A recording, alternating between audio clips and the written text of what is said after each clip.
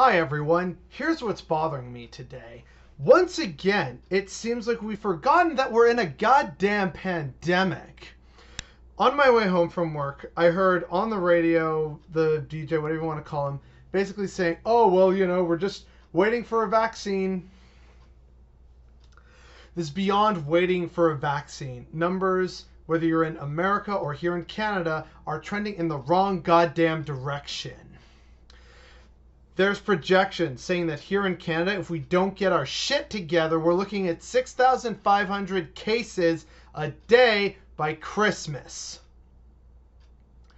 Ho, ho, ho! Merry fucking Christmas. Congratulations, people, by being so selfish and by thinking that, you know what, we're just tired of everything, so I'm gonna let up because, oh, geez, you know, quarantine's so hard. Yeah, that's the goddamn point. This isn't easy. To, to quote all those people on the right where everything's a war, you know, war on terror, war on drugs, we are at war with a goddamn virus and it's time we start treating it like that. And yet so many of our governments simply aren't. Oh, 30 kids in a classroom? That's fine kids not wearing masks half the time. That's fine. People at work and at home and in close quarters not wearing masks half the goddamn time. Oh, well, whatever. This is not how you win a war. This is not how you win a battle for society and for your own health and well being. This is beyond bothersome. It is infuriating. They're talking about, you know, rolling circuit breaker lockdowns where we just have to shut everything down completely for three weeks at a time to try and get this virus under control. And maybe that's what we need to do. And maybe there need to be curfews and actual, like, I don't know, bring back public shaming or something. Because there's too many violations happening at the individual level and at the government level that is preventing the proper I can't say healing, but the managing of a health crisis. It is beyond infuriating when you and others you know are trying to do everything you can to keep yourself, your loved ones, and your community safe. And all it takes is one person, one selfish fucking prick to absolutely ruin it for everyone else. Individualism is fine, but not at the expense of the collective in which the individual participates.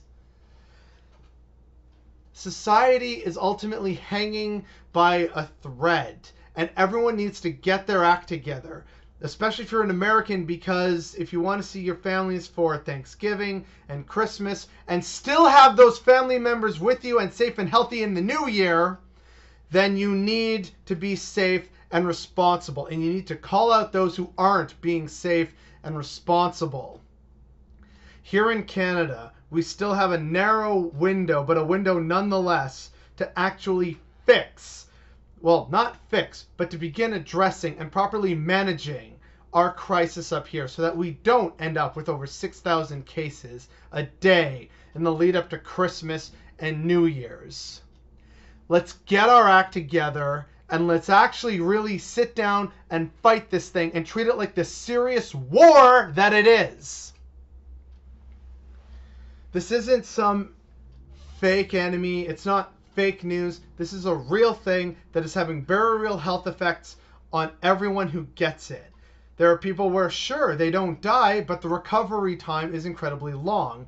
It causes various different diseases or illnesses for all people at any age group. It just affect it just affects different uh, demographics differently, but it's still an effect. For God's sake, be safe, because you don't want to be a 30 year old with blood clots. You don't want to be a healthy 25 year old and suffering a brain aneurysm. You don't want to be 40s in your 40s or 50s and spending weeks, if not months, feeling perpetually exhausted and struggling to breathe. You don't want to be a child catching this and not knowing what the developmental problems will be years down the line. You don't want to be an old person and catch this and most likely die from complications of it. Our society is only as important as the people who participate in it. And I wish that that was being respected more. But clearly it isn't. And clearly we're just getting too tired and we're letting things slip. And so this whole health pandemic is just getting worse and worse because we're still putting profits and concern about deficits and our own selfishness above the health and safety of those we claim to love. And that is what is deeply bothering me today.